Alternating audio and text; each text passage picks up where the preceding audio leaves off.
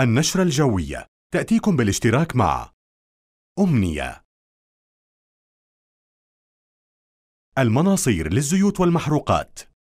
اير دكتور لواء لتمويل الشركات المتوسطة والصغيرة.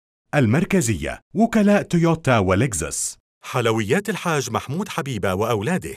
مجمع الملك الحسين للأعمال. بايولاب.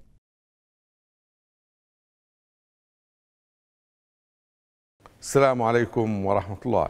إليكم الأحوال الجوية المتوقعة. هذه الليلة أجواء باردة وغائمة جزئيا ودرجة الحرارة الصغرى المتوقعة 7 درجات مئوية بينما الصغرى الملموسة هي 4 درجات مئوية. يوم غد الأربعاء تتأثر المملكة بامتداد لمنخفض جوي في طبقات الجو العليا وبالتالي تتكاثر الغيوم وتسقط زخات رعدية من المطر. تبدأ الأمطار في المناطق الشمالية تمتد تدريجيا لتشمل المناطق الوسطى وبعض المناطق الجنوبية. هذه الأمطار بتكون مصحوبة بالرعد والبرق والرعد أحيانا وأحيانا تكون غزيرة. الأحوال الجوية المتوقعة للثلاثة أيام القادمة.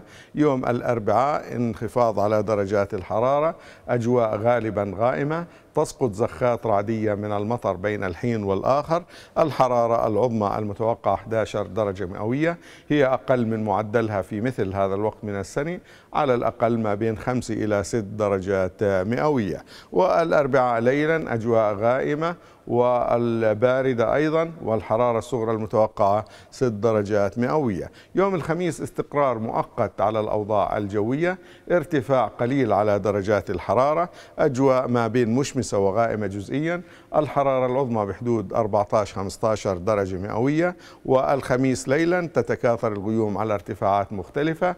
وبعد منتصف الليل يحتمل سقوط زخات متفرقة من المطر والحرارة الصغرى المتوقعة يوم الخميس 9 درجات مئوية. يوم الجمعة ارتفاع آخر على درجات الحرارة والأجواء غائمة وتسقط أمطار متفرقة بين الحين والآخر. الحرارة العظمى يوم الجمعة حدود 15-16 درجة مئوية. ويوم الجمعة ليلا أجواء غائمة ودرجة الحرارة الصغرى المتوقعة 8 درجات مئوية. اعتبارا من يوم السبت والأحد انخفاض واضح على درجات الحرارة وأجواء باردة وغائمة وماطرة حتى الثلاثاء بإذن الله. الأحوال الجوية المتوقعة أو ملخص للأحوال الجوية المتوقعة يوم غد الأربعاء زخات رعدية من المطر وأيضا في استقرار مؤقت على الأحوال أو الأوضاع الجوية يوم الخميس وتجدد هطول الأمطار بإذن الله يوم الجمعة. واعتبارا من السبت انخفاض واضح على درجات الحرارة واستمرار سقوط الأمطار بإذن الله من طقس العرب أعزائي المشاهدين نحييكم وإلى اللقاء.